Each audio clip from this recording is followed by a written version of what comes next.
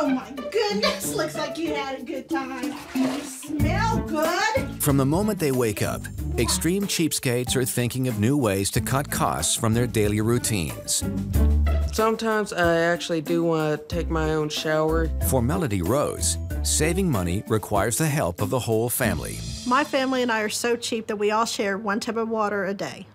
We don't have cooties. We're never that dirty. It just makes sense to use the same water. My husband will take a bath, then I do, then Bob, then Ronnie. Think about how much water a bathtub uses. I bet there's probably 20, 25 gallons. Four of us, that's 100 gallons a day. I mean, think about it. How stupid is that?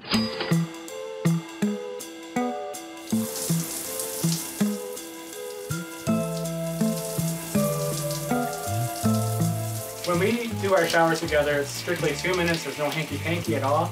It's a two-for-one type deal. We just get in and out so that we conserve our energy, our money. All right, hon, I'm ready for this massage. Rick uses the suds from my hair on his hair. So that it's like two for one on the shampoo. Got some more? I Need some more? One bottle of shampoo lasts us like eight months. There you go. For cotton swabs, Chris will use one end, and then when she's done, I'll use the other. With the deodorant, we actually share that too, and we're only allowed one wipe per armpit. We share our toothbrush, so we don't have to buy another toothbrush. We're so cheap that we share our tooth floss. There you go.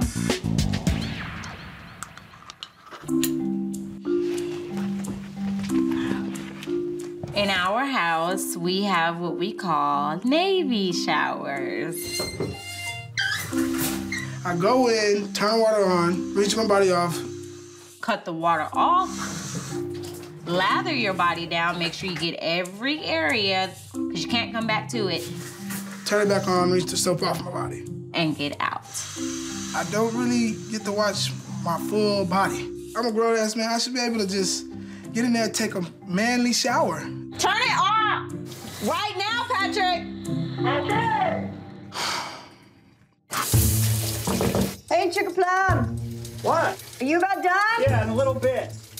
I hear money going down the drain. I don't want to set the stage, so he just comes over and takes these long showers. Hey, come on! Did, did you turn the water off? Yeah. Okay, that isn't the right way to prove a point. Yeah, turn the water back on. Did I make it though? No. Larry Melvin, a mechanic in McKinney, Texas, saves more than $10,000 a year living in his garage.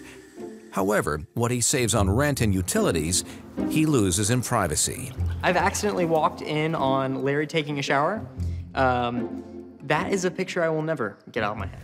I have this basin that I step into. I hook the water hose up to the faucet. I conserve all of this water and I use it over the course of the day for various things, mopping the floors, cleaning cars.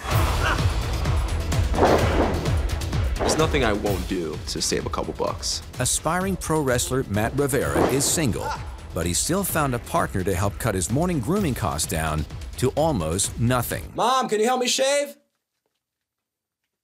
Mom! Look up. I shave my head. It's cost efficient. No shampoo, no barber, no conditioner. And on top of that, I look tough. Slower, please. Making me nervous. Oh, you're such a chicken. Me and my mom are like best friends. She still does almost everything for me. Could you uh, help me shave my back too? I will do whatever Matthew needs to save as much as he can.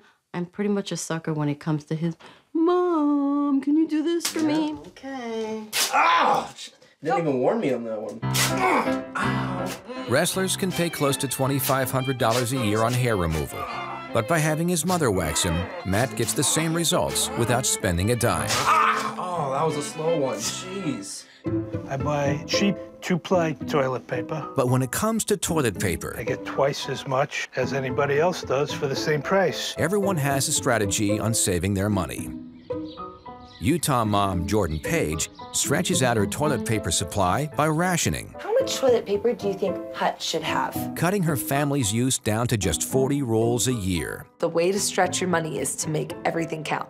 Three? Three? Should we do three? three. How much much do you think Daddy should use? Jordan always harps on me for using too much toilet paper. Okay, let's try it. It's a sensitive subject. Four. Awesome. Buying toilet paper just doesn't do anything for me. I'm cutting toilet paper squares for our bathroom that we will wash and use instead of paper products. We have a little bin underneath the basket that holds the little toilet wipes where we put them so we can wash them later. And then when it's time to wash, I just pour them in and I never have to touch them with my hands. As a middle-class family that makes a good income, I shouldn't have to go into debt to buy toilet paper. All of our cloth wipes that we have in the house, we've been using them for more than five years. This is kind of dirty. It's okay, it's clean. I don't buy toilet paper. I use newspapers that we get free in town. Pick up one sheet, you don't need more than that. You crumple it up, you use it, and then you put it, when you get done, into this bag. And when this bag's full, we take it out and burn it. But I'm not gonna do this one because I haven't used it and I don't wanna waste it. I've had people say, here, let me buy you a roll of toilet paper. It's not that I can't buy a roll of toilet paper. I don't need to, we don't need it. Now, sometimes I've come in here, I've got boys in the family that don't always replace newspapers. I've insulated this window with newspapers, keeps the light out, helps with heating and cooling, and saves me if I'm on the toilet and I need something, all I gotta do is lift this window and there's me some more toilet paper. Looking to save on water and fertilizer, millionaire Victoria Hunt has come up with a system that does double duty. This is where I deposit my urine. I had read online that you can put your urine into your compost pile. And I thought, wow, I can build my compost and not have to flush my toilet. My water bill went from $30 a month to $20 a month. I need you to start peeing in a bottle for me. No. How about if I get you your own special bottle? We can have his and hers. Okay, fine. I'll try it one time. But when it comes to saving money in the bathroom, no one is more frugal than Kate Hashimoto, I don't use toilet paper. who doesn't spend a dime on toilet paper. I just use water and soap to clean myself off after going to the bathroom. I take this water bottle that I have and I rinse myself off. If I just urinated, I'm done with that, and then I dry myself off with one of the paper towels I have. If I took a dump, then I also grab soap, wipe myself down with the soap, and then I take uh, the water and rinse off the soap. Would you mind if I throw in some laundry with you? Just a few things, not a lot, maybe a few things. I think the last time I did laundry was um, maybe three years ago. Whenever I have dirty clothes, I try to wash them while I'm showering.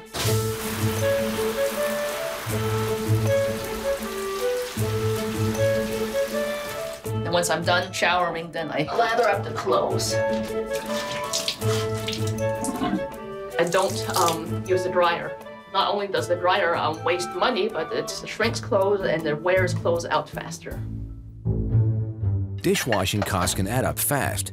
Dishwashers are expensive at around $800, and the cost to run them can be several thousand dollars in a year. But like anything, there are ways around that. actually save my water after my showers. Take it to where I need to use it, including, you know, washing the dishes once a week. I think it's kind of gross. It's like taking a bath and washing your dishes in the bathtub with you. You know, that, that's not what we consider to be hygienic by any stretch of the imagination.